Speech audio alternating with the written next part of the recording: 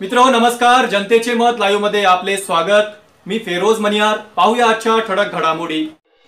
अहमदपूर येथे सकल मराठा समाजाकडून आयोजित केलेल्या मराठा क्रांती ठिया आंदोलनात दिलीपराव देशमुख यांनी हाजरी लावली.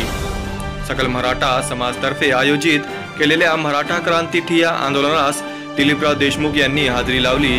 यावेळी जनतेचे मत लाईव्हशी बोलताना दिलीपराव म्हणाले मराठा समाजाला तात्काळ आरक्षण देण्यात यावे यासह मराठा आरक्षणासह मुस्लिम धनगर हटकर यादी समाजाला पण आरक्षण देण्यात यावे अशी भूमिका दिलीपराव देशमुख यांनी यावेळी व्यक्त केली. यावेळी त्यांच्यासोबत ॲडव्होकेट आरिफ देशमुख रतन सौदागर जाकीर कुरेशी जावेद शेख लक्ष्मण मांबडे अनिल जाधव रब्बेवार कृष्णा ईश्वर गुट्टे यादी आंदोलनकर्ते उपस्थित होते. ब्युरो रिपोर्ट जनतेचे मत लाईव्ह. मराठा समाजाच्या आरक्षणाकरिता एक वर्ष दीड वर्षापूर्वी महाराष्ट्रामध्ये लाखावर शांततेनं मोर्चे या मराठा समाजाने काढले. त्यांना न्याय मिळावा त्यांना आरक्षण मिळावं. आज मराठा समाजाची परिस्थिती आरक्षण मिळण्याजोगी आहे. कारण आज मराठा समाज खूप मागं पिछडला गेलेला आहे. मराठा समाजाच्या लेकरांनी नव्वद टक्के मार्क घेतले तरीही त्याला नोकरी लागत नाही.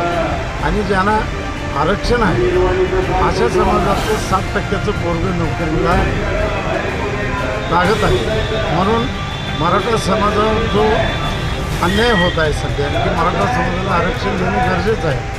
मराठा समाज हा महाराष्ट्रामध्ये पहिल्या क्रमांकाचा समाज आहे आणि मराठा समाजाची परिस्थिती मागायला पन्नास वर्षासारखी आज राहिलेली नाही.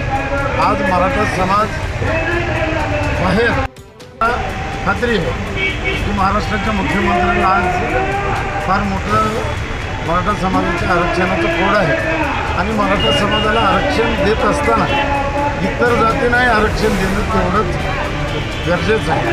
कारण त्याच्यामध्ये लिंगायत समाज आहे त्याच्यामध्ये आमचा मुस्लिम बांधव आहे धनगर आहे हटकर आहे. या सगळ्यांनाच निदान आरक्षण देऊन आम्हाला आरक्षणापुढे काही पैसे देण्यापेक्षा आमचे जी मुलं बाळ आहेत जे आमचे मुलं बाळं सध्या शिकलेले आहेत अशांना जर नोकरी मिळाल्या तर त्या घराची सुधारणा होईल त्यांची गरिबी दूर होईल.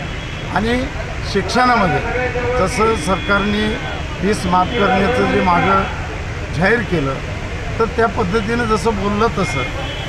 मग कुणीही समाजाचे मुलं असतील त्यांच्या शिक्षणाची फीस माफ करावी आणि मराठा सरकार सध्या खूप चांगलं सरकार आहे या महाराष्ट्रामध्ये.